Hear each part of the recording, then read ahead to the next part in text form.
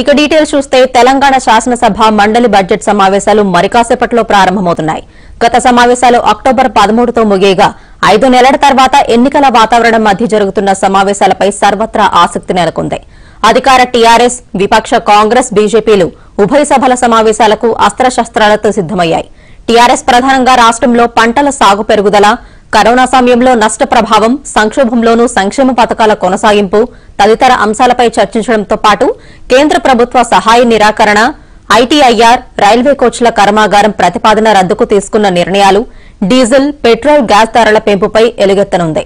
విపక్షాలు లేవనెత్తే అంశాలపై ధీటైన సమాధానాలిచ్చేందుకు సిద్దమవుతోంది ఇక ప్రతిపక్షాలు ధరణి ఎల్ఆర్ఎస్ సమస్యలు ఉద్యోగులు ఉపాధ్యాయులకు వేతన సవరణలో జాప్యం పదవీ విరమణ వయసు పెంపు నిరుద్యోగ భృతి తదితర హామీల అమల్లో వైఫల్యాలు తదితర అంశాలను ప్రస్తావించనున్నాయి.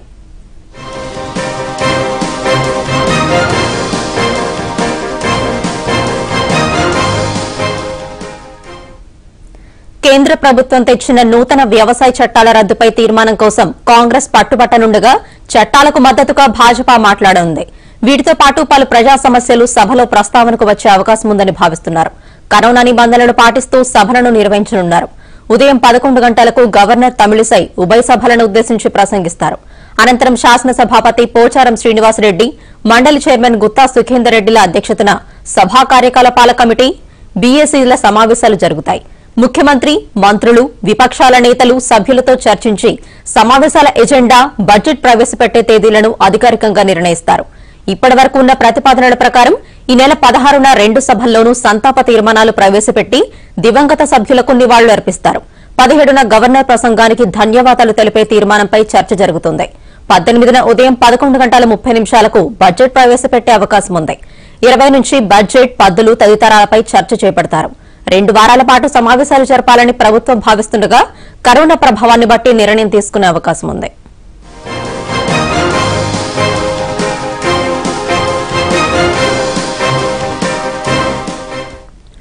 తెలంగాణ శాసనసభ మండలి బడ్జెట్ సమావేశాలు మరికాసేపట్లో ప్రారంభమవుతున్నాయి. ఇక దీనిపై మరింత సమాచారాన్ని మా ప్రతినిధి రాకేష్ అందిస్తారు.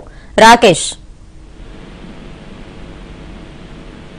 శాసనసభ శాసన మండలి రెండు సభలు కూడా ప్రారంభం కాబోతున్నాయి. తెలంగాణ బడ్జెట్కు సంబంధించిన పద్ధతుల విషయంలో ఈ సమావేశాలు జరగనున్నాయి. మొదటి రోజు రెండు సభలను ఉద్దేశించి కూడా గవర్నర్ తమిళసాయి మాట్లాడబోతున్నారు. ఇక రేపు చూస్తే దివంగత మంత్రులు అలాగే ఎమ్మెల్యేలు ఎవరైతే చనిపోయారో ప్రజాప్రతినిధులకు సంబంధించి వారందరూ కూడా నివాళులు అర్పించబోతుంది సభ. ఇక ఎల్లుండి గవర్నర్ ప్రసంగానికి తీర్మానం ధన్యవాద తీర్మానం జరుగుతుంది సభ. ఇక ఆ తర్వాత రోజు బడ్జెట్ను ప్రవేశపెట్టబోతున్నారు. అయితే ఈ సభలు ప్రధానంగా కూడా ప్రతిపక్షాలు కొంతమేర వాయిస్ పెంచే ప్రయత్నం చేయబోతున్నాయని ఇక్కడ స్పష్టంగా కనబడుతూ ఉంది. ముఖ్యంగా కాంగ్రెస్ పార్టీ ముఖ్యంగా రైతు చట్టాలు ఏవైతే కేంద్ర ప్రభుత్వం తీసుకొచ్చిందో వాటికి వ్యతిరేకంగా సభ తీర్మానం చేయాలని గట్టి పట్టుబట్టబోతా ఉంది. దీనికి సంబంధించి ఇప్పటికే టీఎల్పీ నేతలు చర్చించుకోవడం జరిగింది. ఈ అంశాన్ని ప్రధాన ఎజెండాగా చేసుకుని ఈ యొక్క సమావేశంలో కూడా కాంగ్రెస్ పార్టీ పట్టుబట్టబోతా ఉంది ఇక స్థానికంగా నిరుద్యోగ వృత్తి కానీ ఉద్యోగాల కల్పన విషయంలో కూడా టీఆర్ఎస్ ప్రభుత్వం అనుకున్న స్థాయిలో పనిచేయట్లేదు. ఉద్యోగాల కల్పనకు సృష్టించట్లేదు అంటూ కూడా బీజేపీ ఆరోపిస్తా ఉంది. ఈ అంశాన్ని ప్రధాన ఎజెండాగా చేసుకుని ఈసారి బీజేపీ ఈ అంశాన్ని ప్రధానంగా సభలో మాట్లాడబోతున్నది ఇక్కడ స్పష్టంగా కనబడుతుందని కూడా చెప్పుకోవచ్చు.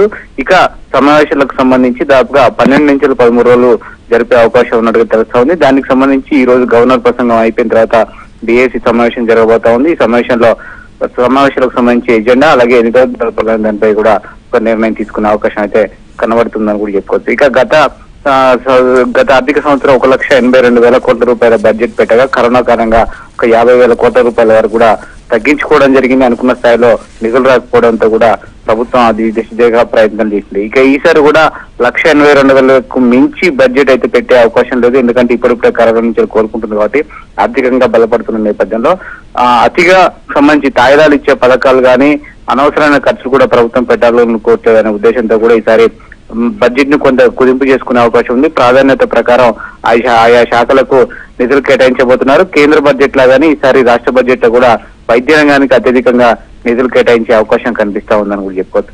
ఇక గత బడ్జెట్ సమావేశాల సందర్భించి కాగు రిపోర్ట్ను ప్రవేశపెట్టలేదు. అనేక కారణాలు ఉంటాయంటూ కూడా అధికారులు చెప్పారు. అయితే గత సంవత్సరం కాగు రిపోర్ట్ బడ్జెట్ ఈసారి కాగు రిపోర్ట్ కూడా రెండు రిపోర్ట్లను కూడా ఈసారి సభలో ప్రవేశపెట్టబోతున్నారు. దీనిపైన అధికార విపక్షాల మధ్య వాడివేడి చర్చ జరిగే అవకాశం అయితే కనబడుతుందని కూడా చెప్పుకోవచ్చు. మొత్తానికైతే సమావేశాలకు సంబంధించి కరోనా నేపథ్యంలో గత సమావేశాలప్పుడు ఎలాంటి నిబంధనలు అయితే పెట్టారో సభ్యులందరికీ అసెంబ్లీ సిబ్బందికి మీడియాకు అలాగే పోలీస్ సిబ్బంది కూడా ఖచ్చితంగా కరోనా టెస్ట్ చేయించుకొని నెగిటివ్ రిపోర్ట్ ఉన్న వాళ్ళు రావాలంటూ కూడా ఆదేశాలు వెళ్ళడం జరిగింది. రెండు మూడు రోజులకు ఒకసారి ఈ యొక్క కరోనా టెస్టులు కూడా చేయబోతున్నారు. అలాగే సభ్యుల మధ్య దూరంగా ఉండడం కొంత నిబంధనలను అయితే కఠినంగా అమలు చేస్తున్నారని కనబడతా ఉంది. ఓకే ప్రధానంగా ఏ అంశాలపై చర్చించే అవకాశం ఉంది? అధికార పార్టీ గాని విపక్షాలు కానీ ఖచ్చితంగా అధికార పార్టీ ఖచ్చితంగా తను చేపట్టిన సంక్షేమ పథకాలు ఏవైతే ఉన్నాయో ముఖ్యంగా కళ్యాణ కళ్యాణ లక్ష్మి కానీ రైతు బంధు కానీ రైతు బీమా కానీ ఏవైతే ప్రజలకు నేరుగా చేరుతున్నాయో ఆ పథకాలపైన చర్చకు ప్రభుత్వం పట్టుబట్టే అవకాశం ఉంది. ఇక ప్రతిపక్షాలు మాత్రం ఖచ్చితంగా రైతు సమస్యలు ముఖ్యంగా కేంద్ర వ్యవసాయ చట్టాలపైన కాంగ్రెస్ పార్టీ పట్టుబట్టబోతోంది. ఉద్యోగాల కల్పన నిరుద్యోగుల అంశాన్ని ప్రధానంగా ఎజెండాగా చేసుకుని బీజేపీ పట్టబోతోంది ఇలా వారి వారికి ఏవైతే అనుకూలమైన అంశాలు ఉన్నాయో ఆయా పార్టీలు అయితే ప్రధాన ఎజెండాగా చేసుకుని అసెంబ్లీలో మాట్లాడే అవకాశం అయితే ఉంది. Right thank you Rajesh